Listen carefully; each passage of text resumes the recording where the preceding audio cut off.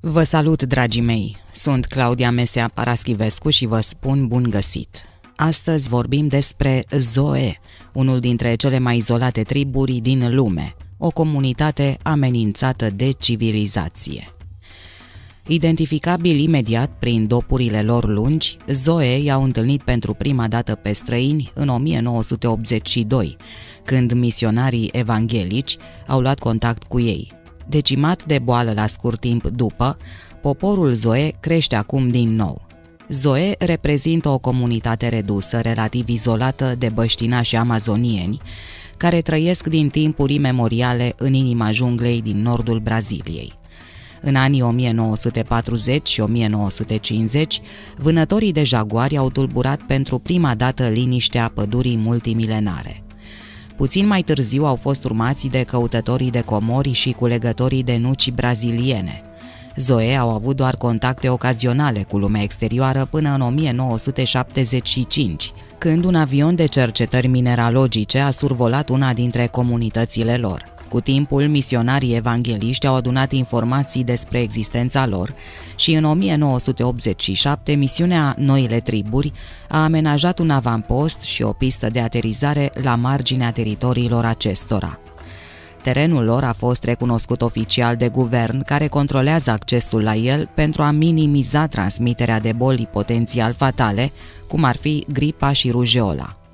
Primul contact efectiv cu poporul Zoe a avut loc în 5 noiembrie 1987, după ce indienii îi observaseră în secret pe misionari mai mult timp, amuzându-se uneori de nepriceperea albilor la vânătoare și la deplasarea prin junglă, cum avea să povestească mai târziu un băștinaș.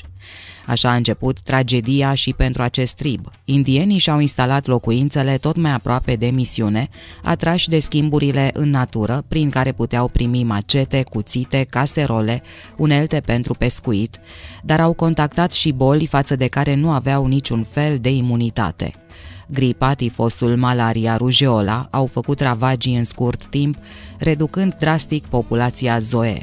Un sfert din aceștia au pierit astfel numai până în 1988. Era de altfel exact fenomenul care a decimat de-a lungul secolelor triburile Amazoniei și nu numai, după venirea omului alb și a civilizației acestuia.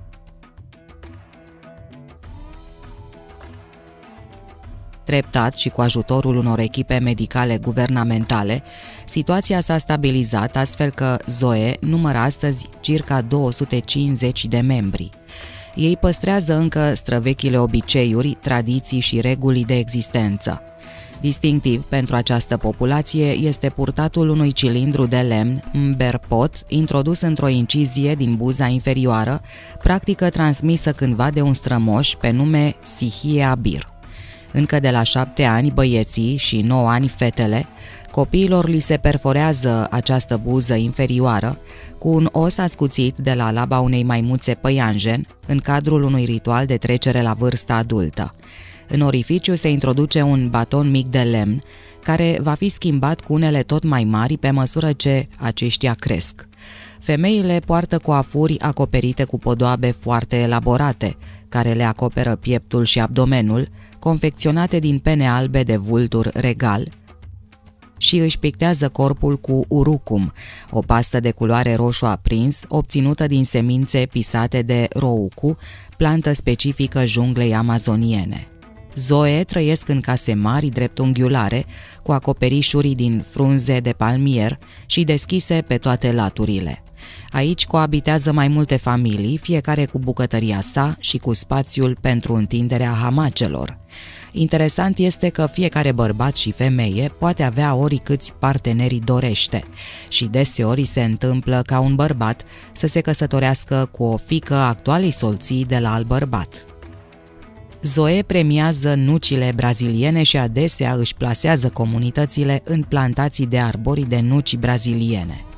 Pe lângă faptul că oferă o sursă bogată de hrană, cojile de nuci sunt transformate în brățări, iar fibra de coajă este folosită pentru a face hamace. Comunitățile Zoe sunt înconjurate de grădini mari în care se cultivă manioc și alți tuberculi, ardei, banane și multe alte fructe și legume. Bumbacul este cultivat și folosit pentru a face ornamente corporale și hamace, pentru a lega capete de săgeți și pentru a țese slinguri pentru purtarea bebelușilor.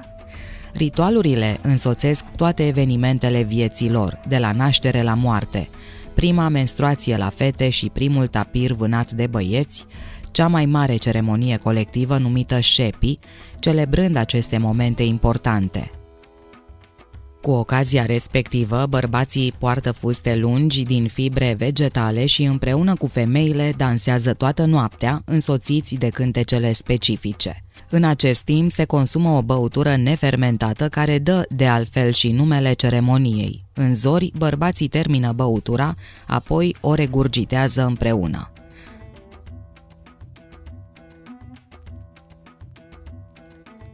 Pitoresc, fascinație, dar și dramă, acestea sunt câteva caracteristici evidente ale populației Zoe, o comunitate străveche al cărei destin este deja pecetluit.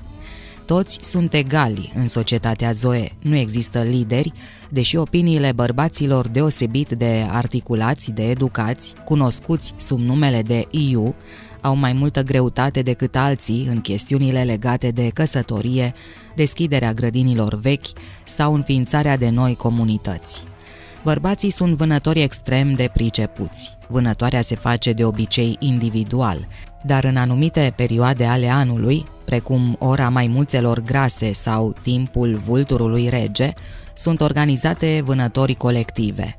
Când grupuri mari de pescari se adună, bărbații Zoe vânează împreună, alergând furios după pescarii care trag săgeți, în timp ce femeile prind bebelușii speriați, care sunt duși înapoi acasă și crescuți ca animale de companie sau raimbe. De asemenea, Zoe pescuiesc folosind harpoane și timbo, o travă de pește făcută din viță de vie zdrobită. De la o vârstă fragedă, toți Zoe poartă îmberpot, dopul lung de lemn introdus în buza inferioară. Copiii Zoe au buza inferioară străpunsă, cum spuneam, la vârsta de 7 până la 9 ani. Zoe povestesc cum un strămoș numit Sihie Abir le-a arătat cum să folosească dopul de buze. Una dintre cele mai importante ceremonii și un rit de trecere pentru copii este străpungerea buzei inferioare. Se folosește un os ascuțit din piciorul unei maimuțe păianjen și se introduce un berpot minuscul, de obicei când fetele au aproximativ 7 ani și băieții aproximativ 9 ani. Pe măsură ce îmbătrânesc, se introduc dopuri mai mari. Femeile poartă căptușeli elaborate, realizate din pene albe și moi, de vultur regal și își pictează trupul cu urucum, o pastă roșie vibrantă făcută din zdrobirea semințelor de anato. Ritualurile marchează multe aspecte ale vieții Zoe, cum ar fi nașterea și moartea, prima menstruație a fetelor și, așa cum menționam și mai devreme, primul tapir vânat de băieți adolescenți. SEPI este poate cea mai mare ceremonie colectivă, care poate fi efectuată pentru a marca orice eveniment important. Este numit după băutura fermentată natural servită în timpul ritualului, care este făcută din orice tubercul din sezonul respectiv. Bărbații se îmbracă în fuste lungi din fibre numite sipi. Bărbații și femeile dansează împreună toată noaptea într-o serie de dansuri unice însoțite de cântări. În zori, bărbații termină băutura și o expulzează vărsând împreună.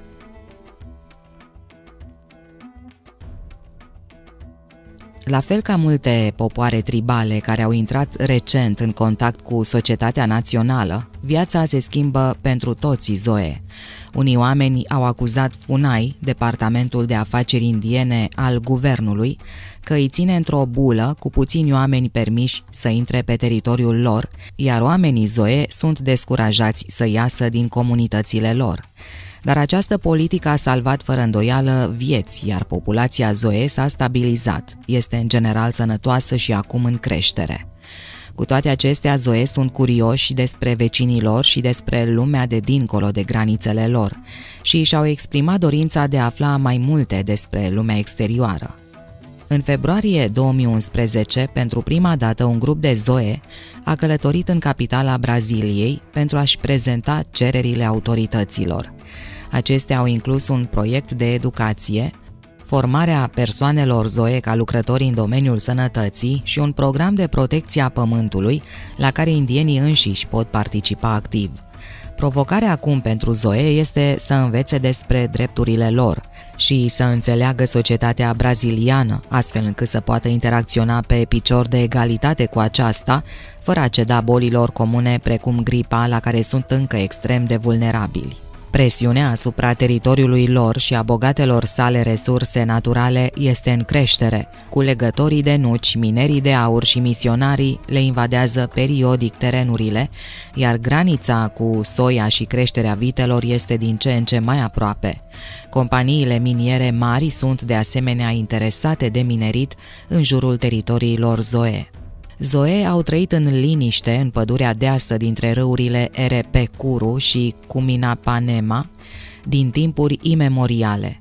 În anii 1940 și 1950, bărbații care vânau jaguari și alte pisici sălbatice pentru pielea lor au tulburat pentru prima dată liniștea pădurii. Apoi au început să se aventureze aici și căutătorii de aur și colecționarii de nuci braziliene. Zoe trăiesc adânc în pădurea tropicală amazoniană și își construiesc case în mijlocul grădinilor lor, unde cultivă multe legume și fructe, precum manioc și banane. Zoe au avut întâlniri trecătoare cu acești oameni care le-au invadat teritoriile, dar nu au fost deranjați până când, în 1975, așa cum spuneam, un avion de cercetare minerală care zbura deasupra pădurii a reperat una dintre comunitățile lor.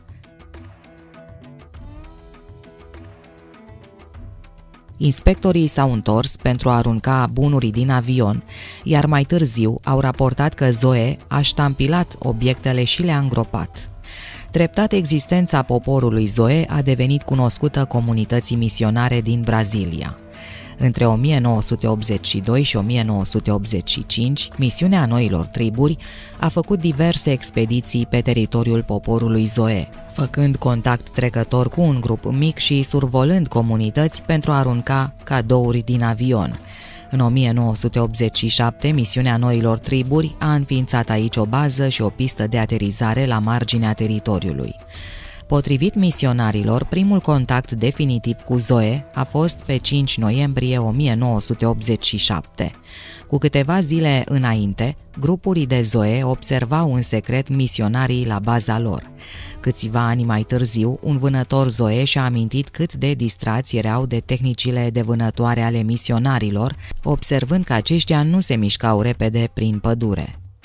În cele din urmă, câțiva zoe au intrat în tabăra de bază a misiunii și au schimbat vârfurii de săgeți rupte cu bunuri de la misionari.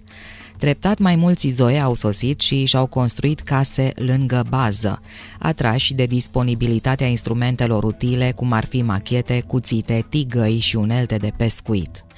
Curând a lovit tragedia. Zoe au început să se îmbolnăvească de boli la care nu aveau imunitate. Cu atât de mulți zoe într-un singur loc, gripa și malaria s-au răspândit rapid. Pe măsură ce situația s-a deteriorat, misionarii au contactat Departamentul Guvernamental de Afaceri Indiene, care a trimis echipe medicale, Epidemiile au devastat tribul, aproximativ un sfert din populația inițială a Zoe, murind între anii 1982 și 1988. Reacționând la catastrofă, autoritățile i-au expulzat pe misionari în 1991 și au început un proces de încercare de a-i convinge pe oamenii Zoe să se întoarcă în vechile lor sate. Departamentul Guvernamental de Afaceri Indiene, FUNAI, a construit o bază de ultimă generație cu mini-spital pentru a trata orice zoe care se îmbolnăvește, pentru a evita nevoia de a-i transfera în cel mai apropiat oraș pentru tratament. Orice străin care vizitează triburile zoe este atent verificat înainte de a putea intra pe teritoriul lor. Ca urmare, populația s-a stabilizat și crește treptat. Astăzi există aproximativ 250 de zoe. Zoe sunt încă un trib foarte vulnerabil. Populația lor este mică și sunt extrem de sensibili la multe boli comune, împotriva cărora nu au avut timp să-și dezvolte imunitatea. Până acum, teritoriul lor a fost relativ liber de invazie, iar în 2009 a fost oficial ratificat de guvern pentru ocuparea și utilizarea lor exclusivă. Cu toate acestea, există o presiune crescândă asupra pământului Zoe din partea vânătorilor și minerilor, dar și a sutelor de culegătorii de nuci care vizează arboretele bogate de arborii de nuci din Brazilia. De asemenea, misionarii evanghelici încearcă să intre și ei. Orice incursiune a străinilor ar prezenta riscuri enorme pentru sănătatea unui astfel de trib izolat. Granița cu soia și creșterea vitelor din sudul teritoriului Zoe se deplasează constant spre nord și există temeri că va fi dificil să fie ținuți fermierii în afara acestui teritoriu mare dacă nu există un program riguros de protecție a terenurilor. În multe zone din Amazon, creșterea vitelor, exploatarea forestieră și plantațiile de soia au provocat defrișării severe. Zoe înșiși sunt curioși și doresc să vadă și să înțeleagă lumea dincolo de granițele lor. Așa cum menționam mai devreme, în februarie 2011, pentru prima dată un grup de zoe a călătorit în capitala Braziliei, Brazilia, pentru a se întâlni cu diferite organisme guvernamentale – ei au discutat despre preocupările lor cu privire la presiunile asupra pădurilor și au spus clar că doresc să participe activ la un program de protejare a acesteia. Ei și-au exprimat de asemenea dorința pentru un program de educație potrivit nevoilor lor și pentru un program de pregătire a poporului Zoe pentru a deveni agenți sanitari. Provocarea este de a permite și de a ajuta Zoe să înțeleagă și să interacționeze în mod egal cu lumea exterioară, fără a le compromite sănătatea sau pământul. Dragi prieteni, atât pentru astăzi. Vă mulțumesc ca de obicei pentru atenție și vă aștept cu drag și data viitoare. Pe curând!